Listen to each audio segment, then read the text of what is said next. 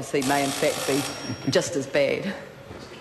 The Honourable David Parker. Yes, can I just uh, develop that theme a little? Because uh, I, I, do agree with the Honourable Lianne Dalziel that uh, it might be wise just to put this one on the back burner a little bit. We're not opposed to the idea of uh, there being oversight of those who are responsible for the supervision of securities, uh, securities trustees and statutory supervisors, but uh, maybe this is something that, if I take the Honourable Lianne Dalziel's suggestion to be that this might be something that falls within the ambit of the Financial Markets Authority rather than a separate entity? Yeah, yeah, the Financial Markets Authority. The Financial Markets Authority rather than a separate uh, uh, uh, body. Now, these, these, these issues as to cost are very relevant. You know, one of the problems that we have in New Zealand's capital markets is that the cost of raising capital through compliance costs can be too high. Now, there have been some terrible problems and practices in respect of finance companies, and uh, we've had a uh, good discussion about that in uh, the bill that was previously discussed. There was far too much uh, related. Uh, um, related party activity. Um, there were um, uh, there were people that were effectively lending monies to things that they had an interest in, and they were effectively uh, reaping the financial benefit of very risky transactions if they went well on the back of relatively low uh, interest rate investments by naive investors.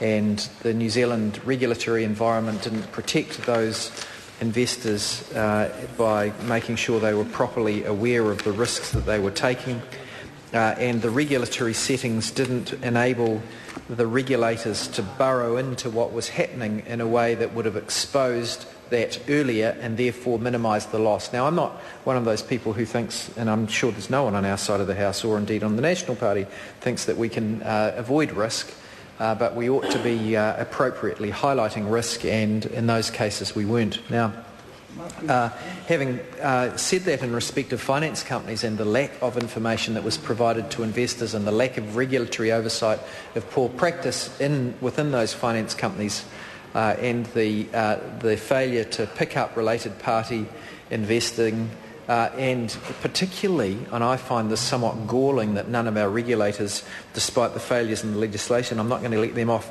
completely off the hook. I think I find it galling that some of the people that have ripped off people this time had prior form from having done it previously.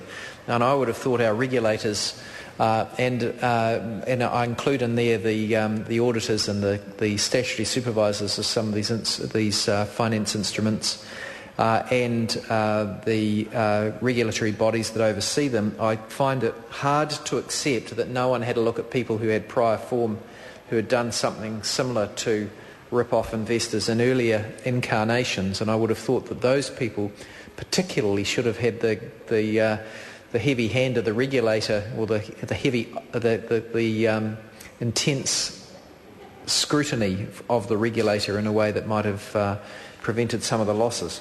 Having said all of that, we do have a problem with the expense of raising capital for new ventures that aren't finance company related ventures. And we need to take care that we don't overly regulate that space because we want to be encouraging innovative enterprises in New Zealand to thrive.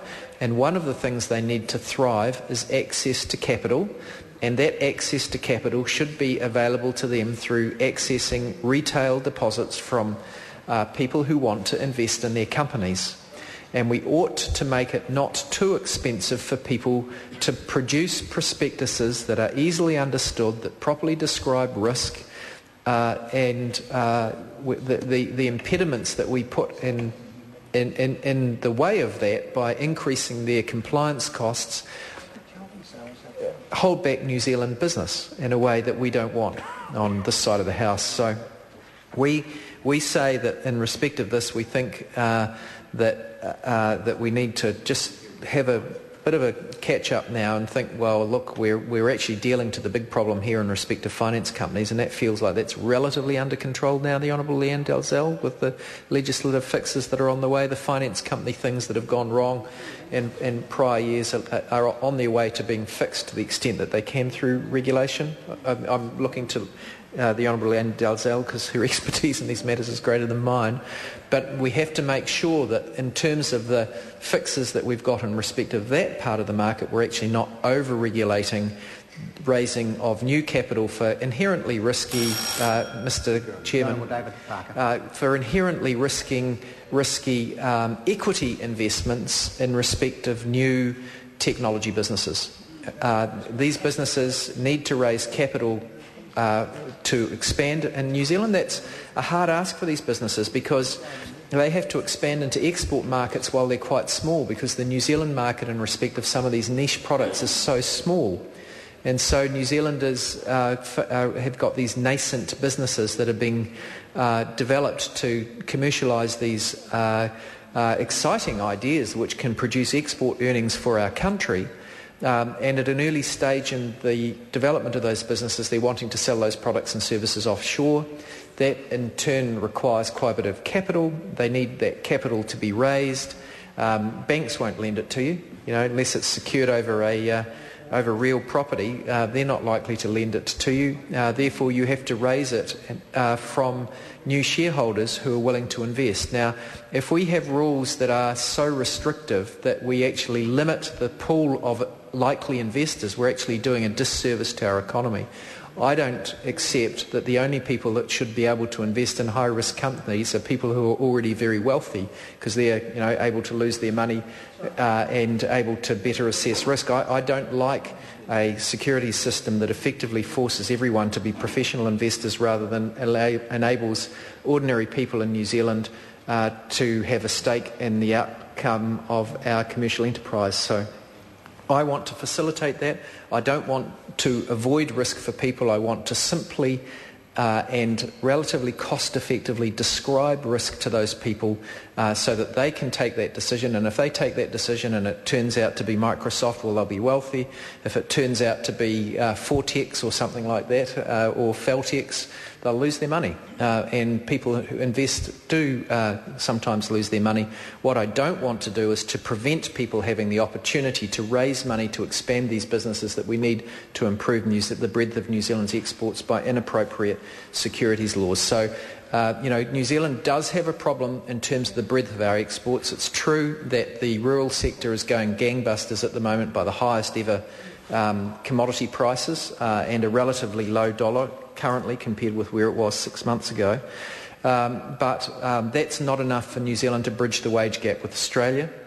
Uh, and to, uh, to, to, afford the sorts of uh, social services that we like in our health and education systems in New Zealand, we do need to build the breadth of our exports. In order to build the breadth of our exports, we have to enable those companies to raise money, and we must make sure that in properly regulating some of the poor conduct that we've had in finance companies and other financial intermediaries, that we don't stop the small companies being able to access capital from people who are not their family, uh, from people who are not um, you know, the, the, the, wealthiest individuals in New Zealand, but who collectively could all invest you know, $5,000 each if they had it to raise $250,000 for you know, 50 investors at $5,000 to raise $250,000 to get these nascent companies operating, expanding to their next level of, of expansion. The compliance costs at the moment for that thing are already too high, partly because of our ridiculous financial reporting uh, rules uh, um, and the audit uh, rules around those, which need to be simplified. And I would hope